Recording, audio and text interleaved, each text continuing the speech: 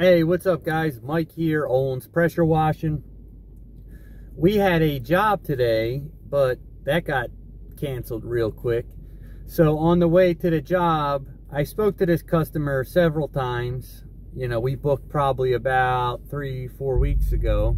It was probably in the beginning of January even. And we had, she had a lot of questions, which is fine.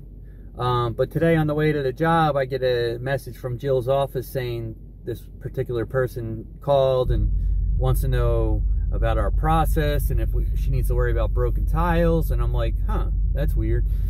So I call this customer back and we're talking. She tells me that, you know, her insurance recently just dropped her and she's worried about her tiles and the integrity of her roof. And I just, you know, long story short, I just told her, all right, I'm gonna come check it out. I'll let you know, in my opinion, what the best um, opinion would be. Meanwhile, in my head, I'm thinking, oh crap, I'm getting them gut feeling, red flags everywhere. I've been down this road before. I had a guy try to blame me for getting a roof leak. I had a guy tried to have me come out and clean a roof with two ginormous holes. If you watch the channel, you've seen this before. So I was like, whoa, whoa, whoa, whoa, whoa, what the heck's going on? So I get there, I noticed some cracked tiles, um, that mortar where the tiles on the ridge get put together, there's a little bit of mortar, it's like a cement they put on for roof tiles. That was all crumbly around the vents, the uh, bathroom air vent, and the, maybe the kitchen exhaust vents, those pipes that stick out. There was cracks all in there.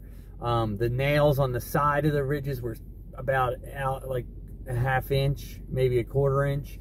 They were all rusted, um, a little loose on the sides um, right away. And I just told her, hey, you know, I don't feel comfortable doing this roof. And she was getting a little upset, saying, you know, I really wish you could just clean this roof. And I said, well, you know, based on our conversation after me looking at all this, I think it's best you have a roofer come out and look at this.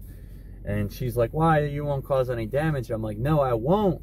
But I don't want to get blamed for the, the previous damage. So basically, you can't always, you know, not every prospect is a customer. And sometimes you need to just say no, you know. And uh, I do all my estimates online. Um, so sometimes, you know, you get to a roof and there's pine needles on there or leaves on there, for instance. And sometimes you just have to factor, and that's what I do. I factor it in on all my roof cleaning jobs. You know, sometimes if I get there and there's a bunch of pine needles or leaves on a roof and I had to take 20 minutes or 30 minutes to blow it off before I start, that's factored into the price. So that's kind of stuff you learn with experience and uh, scammers, you know, are out there. So you never know. And it could always, it could be a customer that has, uh, acts really cool. It could be a customer that you think's awesome, you know, super friendly, super nice, just talks highly of you, and then you get there on the job day and they're kind of saying, "Oh, well, I thought this was supposed to be done with that," and you know, people try to beat you up, and you just never know when it's going to come. And then there's also been uh, times where the customer seems awful, and they're they seem like they're trying to beat me up on price. They ask me for a roof cleaning estimate. I give it to them. Um, then they call and they start saying, well, you know, I had a price for this much, and the guy said he was going to clean my screen enclosure and pool patio as well. You know, well, are you going to clean the windows after? Like, and you stand your ground and you tell them, yes, I could do all that. It just takes time, and time is money, and it's going to cost this much more. And they're like, okay, great, come on do it. And then, you know, there's been times where I'm like, oh crap, I hope they were going to say no. And you get there and uh, they end up being an awesome customer, leaves you a review, and you do them for years and years on end. So you just never know. And the way to solve that problem is just have your video camera videotape any any kind of damage any kind of discoloration oxidation as your as your as part of our systems is we're videotaping the whole house regardless. Number one, you get some cool before and after pictures when you take all angles with a video camera and you could just take still shots from that. Then after, you do the same thing. But also, you're going to catch any kind of discoloration on the paint, oxidation, any kind of window sills that, you know, if if they look loose or cracks or uh, the front door, the hardware on the front door. Um, make sure there's no, you know, that whatever, the, if it's made out of like a metal or um, aluminum, make sure there's no damage to that before you start. And if there is, videotape it because you don't want them to say that wasn't like that. And you, and you're kind of just like, I don't know. You don't want to be like, no, that was like that when you really honestly don't know. Um, so it'd be a lot easier if they, you know, because sometimes a customer not even be sure. They just know you clean and they happen to just notice something they'd never noticed before. And they think, oh, that wasn't like that. And you could say, nope, look, right here on my video camera. And they're going to go, oh, wow, okay. Or if they were a con man, they're going to be like, crap, we picked the wrong one. So you always want to make sure you do your due diligence and videotape before and after and talk to the customers, get a feel for them. Um, and I know that you're never going to be able to tell, but at least if they do act up or they try to scam you, you have coverage. You have video video documentation of the damage or any kind of damage that you may have think they might try to blame you for. So if you ain't got a camera, that's the, probably the most important thing on these jobs, honestly. Because if someone tries to get you for something you didn't do, it could be very, very costly. Even if your insurance does pay for it, it could be very costly in the sense that you got to pay more for your insurance now. And it's sad to say there is these many scammers out there, but they're they're there. I mean, look at it. You know, look at um, you got uh people that call and text me all the time saying they need an estimate. Um, they're out of town. You know, they're they're across the country they're in the hospital dying, but they need a roof cleaned across the country. Come on, that doesn't make sense. And they want you to pay up front with it, or they pay you up front with a credit card, and they give you extra, and you got to send them the extra because some they got to pay for you know cancer medicine. So like I've seen crazy things. Now I'm getting text messages where it'll be like a package you ordered is on the way. Please check. There has been a problem. Please check and uh, confirm. And there's a link in there, and it's from a bogus number, and the link looks all screwy. Don't ever click those links either. And then same thing with email. I'm getting emails from people saying, um,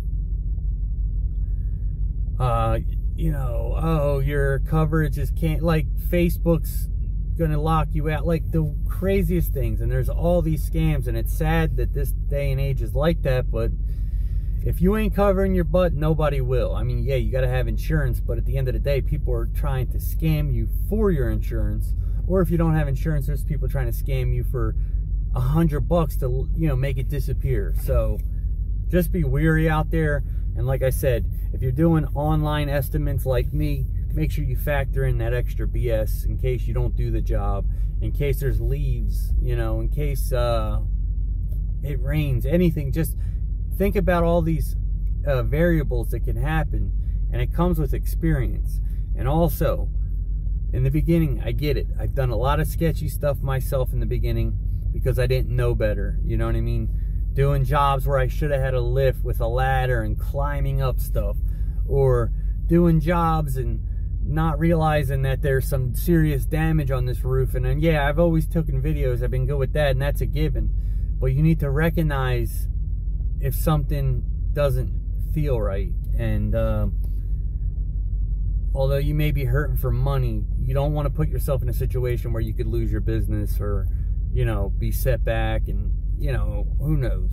But if you're not weary and careful, it will eventually come and bite you. So the whole thing is to be prepared and be ready to roll in case that does happen. So I just want to share that with you guys. You know, it was a little frustrating but at the same time i'm this this business is not for today. This business is for the rest of my life.